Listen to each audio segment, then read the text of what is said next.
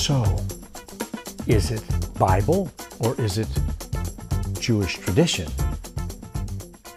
Unlike Hanukkah, a non biblical Jewish festival that Jesus enjoyed, Passover is a thoroughly biblical celebration. The Pesach traditions have changed over the centuries, but the command to honor and commemorate the Exodus has lasted ever since Pharaoh watched his firstborn son die while the Jewish children were spared from God's angel of death. Exodus 12 is the natural starting point of study, and it suggests the following principal considerations. Passover, Pesach, comes from the Hebrew verb meaning to pass over, in the sense of to spare. And this affords excellent sense. There's no need to jettison the time honored view that God literally passed over the blood sprinkled Israelite houses while smiting the Egyptian ones. The term is used both for the ordinance and for the sacrificial victim. So, how did the sacrifice occur in the first century? Experts in Judaica and church history provide valuable context. Jewish usage in the last days of the Herodian temple is reflected in the Mishnah tractate Pesachim. The people gathered in the outer temple court in companies to slaughter the Passover victims, the Passover lambs. The priests stood in two rows. In one row, each man had a golden, and in the other, each man had a silver basin.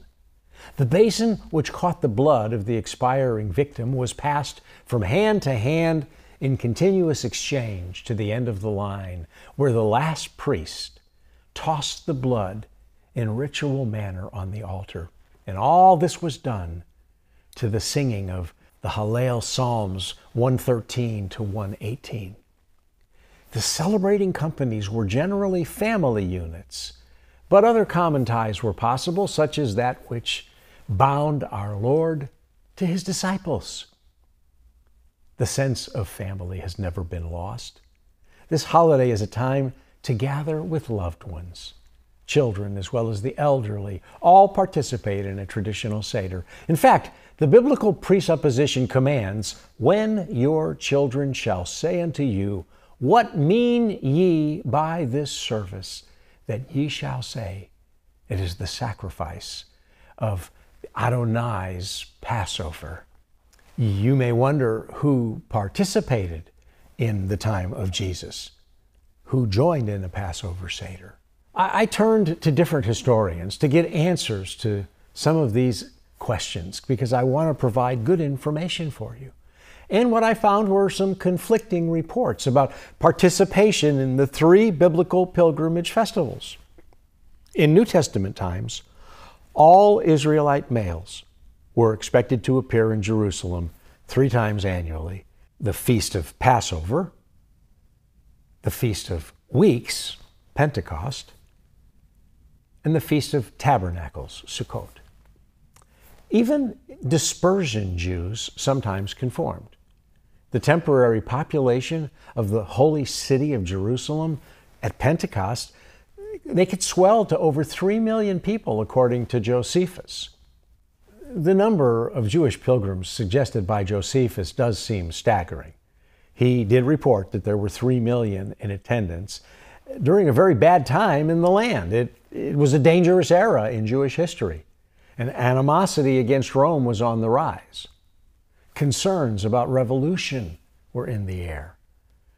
How many might have attended during peaceful days when safety was less of an issue? If Josephus is right, it would have swelled to incredible numbers. Uh, there are Talmudic references suggesting that the head count in attendance might have been as many as six million pilgrims. The rabbis proposed that there was a study done during the time of King Agrippa, perhaps a decade after Jesus, where allegedly the high priest was instructed to count the number of kidneys from the lambs that had been sacrificed on the temple's altar. There were 600,000 lambs reportedly slain during that Passover you do the math. At 10 people per lamb, the ranks of pilgrims may have actually swelled to more than double that reported by Josephus. A bigger question for me is when did Passover get amputated from the body of Christ? Now, we, we know quite a bit about Passover. We, we've gone into a little of the background into what it was like when Jesus participated in his ancient Passover Seder. But I must ask why Passover was amputated from general Christian practice by the doctors of the church. Why do only a small percentage of modern churches celebrate or recognize Passover? In antiquity, it was directly connected to Easter. At that time, Passover could not be ignored. It was more mainstream. As a point of historical reference, Easter was originally celebrated in conjunction with Passover. It was known in Greek as Pascha. In fact, the King James Bible usage of the term Easter is considered an error by many. Pascha might much better be described as Passover from the Hebrew word Pesach. The timing of Easter became an even larger controversy. By the second century, Christian leaders became concerned about celebrating the resurrection on any day other than Sunday. Following the Jewish festivals and calendar, Passover was the anchor to the Easter celebration. So when the church became unyoked from Passover, it was decided that the resurrection would be honored on the first Sunday following the first full moon after the vernal equinox. Though I reject the efforts of church leaders to move God's Sabbath from the seventh day to the first day of the week, I would give them a pass for wanting to celebrate the resurrection on Sunday, the first day of the week. That was how it was described in the New Testament. Nevertheless, a legitimate problem existed. Passover always occurred on the 14th day of the Hebrew month of Nisan, when the Jews were required to sacrifice the Passover lamb. Therefore, Passover often landed on a weekday. And as the church shifted its emphasis, a serious contention arose within the early church. Those who celebrated on the 14th day became known as quartodecimans, from the Vulgate, Latin quarta decima, meaning 14. This practice was ultimately deemed to be a heresy by the church, and that was unfortunate. I wish other alternatives had been considered. In 325 of the Common Era, an utterly anti Semitic church decree came from the First Council of Nicaea. We would have nothing in common with that most hostile people, the Jews. We would withdraw ourselves from the evil fellowship of the Jews. It is our duty to have nothing in common with the murderers of our Lord. So, a circular letter from Constantine amplified the intentional disconnect of Passover from Easter. So, now allow me to offer you a quick course on non Jewish dating, or Calendars 201. Non Jewish dating is a problem for many Jews.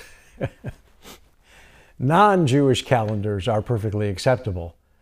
Picking a calendar is not as simple as walking into a bookstore during any given January and selecting a new one with photographs of cars, cats, muscle cars, or Sports Illustrated swimwear.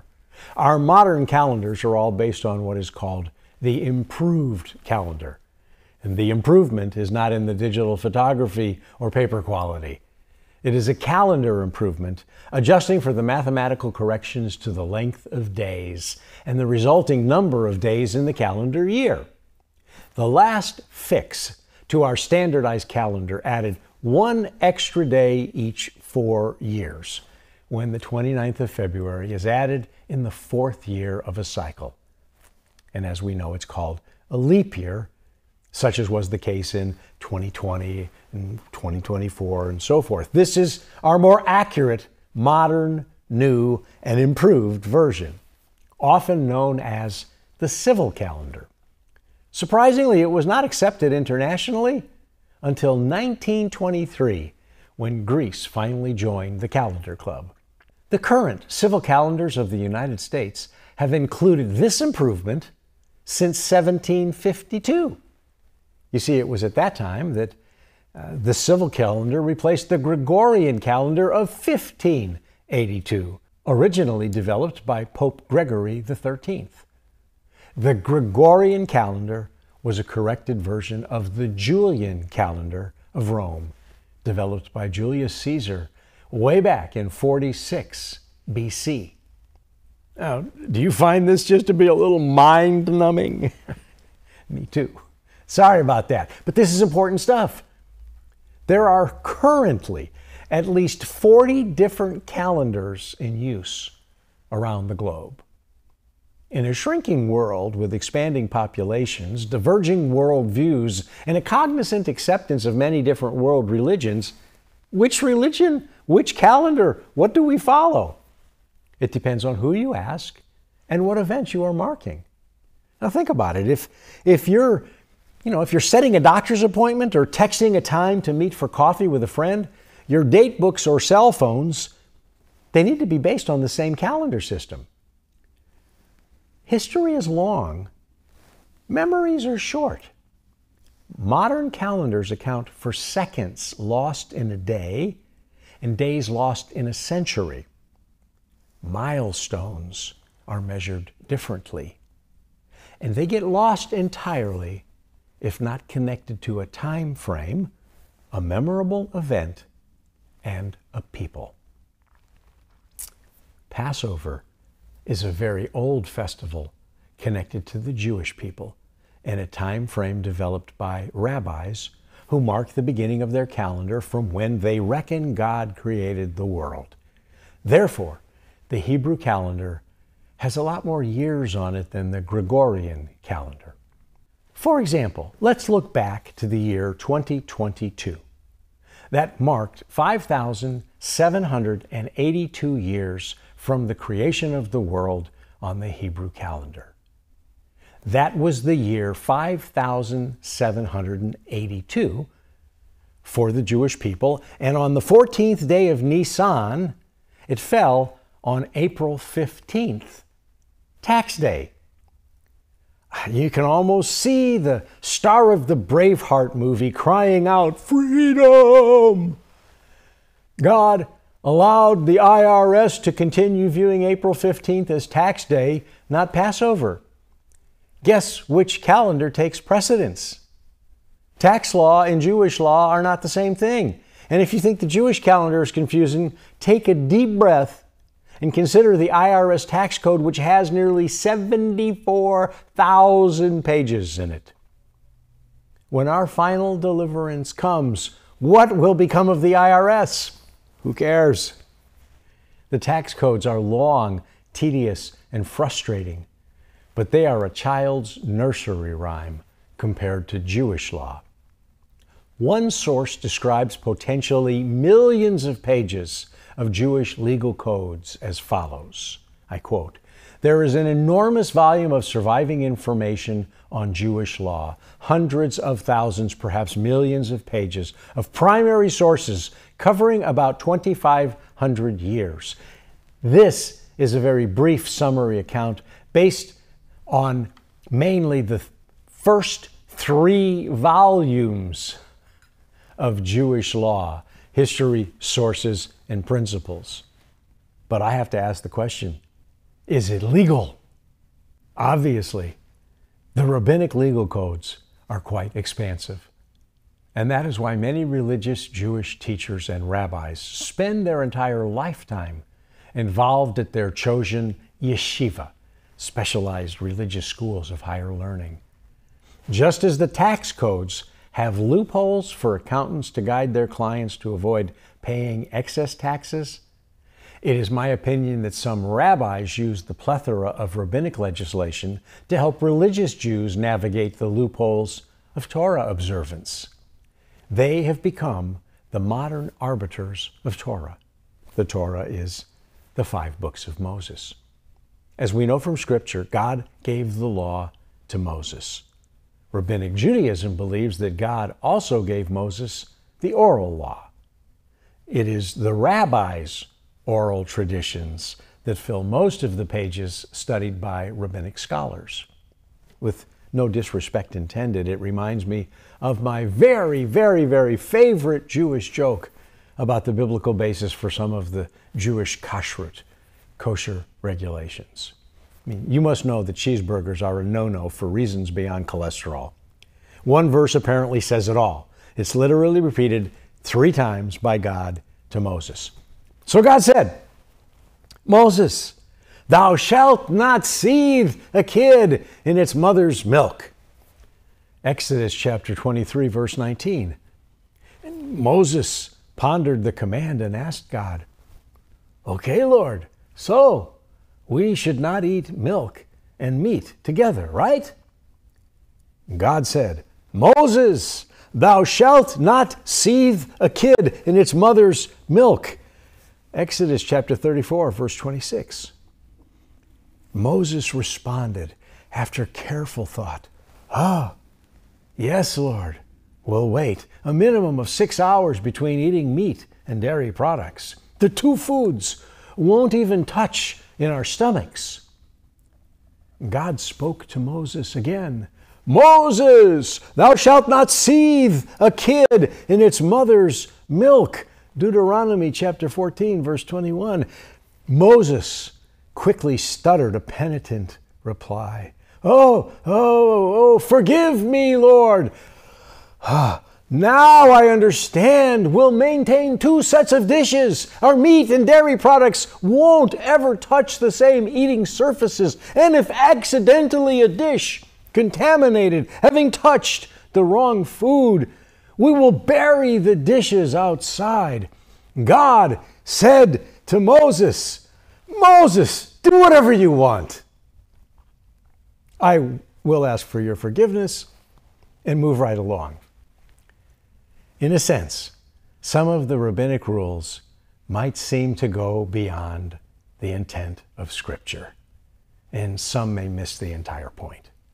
The rules about why Jews may or may not eat and how kosher packages are labeled could be an example. One oddly interesting case involving Manischewitz Diet Thins matzahs ended up in the courts. Marketing and consumer protection issues can get sticky. The legal hearings for the bread standard took 10 years to resolve and amassed a record of 17,000 pages.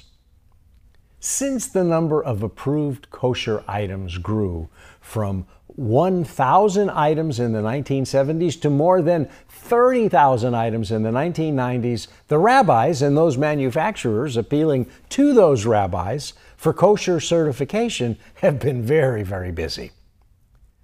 The central motivating factor behind the surge in the numbers of products certified kosher is that it is a profit making endeavor. But the biblical basis for such certification is quite scant.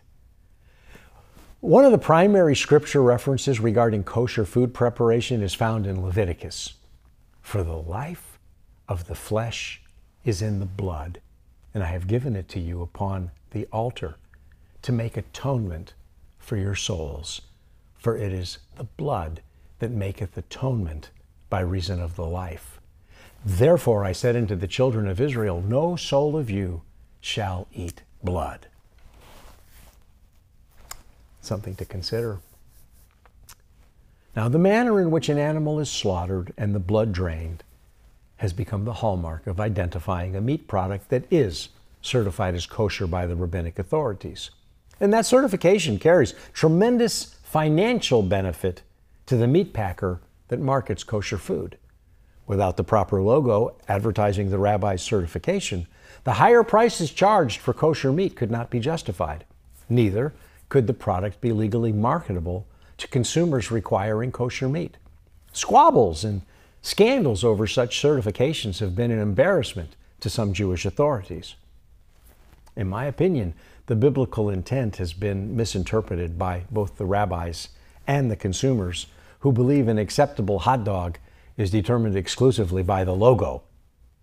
What was the purpose of removing the blood? Why were we not supposed to eat it? Allow me to present a portion of that same section of text in a more modern version. The life of the flesh is in the blood, and I have given you the blood to sprinkle upon the altar as an atonement for your souls. It is the blood that makes atonement because it is the life. That is the reasoning behind my decree to the people of Israel that neither they nor any foreigner living among them may eat blood. The blood was always intended to be our path to atonement. I'm doubtful that God's primary goal was to create a kosher food industry with rabbinic czars being elevated to the valued gatekeepers of successful kosher slaughterhouses and packing plants. I mean, it's fine for religious Jews to follow the countless myriad of kosher regulations, but kosher food preferences won't provide atonement for a single sin committed by anyone. God always intended for the blood to accomplish that atonement and it was through the form of a sacrifice, not a good kosher hot dog. The rabbis have greatly expanded on the rules surrounding biblical adherence. And that's not always a bad thing. I mean, there are often wonderful, proper reasons for such expansions. Conservative, cautious, careful observance can be a great thing. The ancient rabbis attempted to build what they perceived to be a fence around the Torah to help Jews stay away from the dangerous edges of disobedience. They didn't want folks falling off in sin. Alternatively, some of the rules look like loopholes from the outside. For instance, have you ever heard of the Shabbos Goy? Quick, someone call the Shabbos Goy!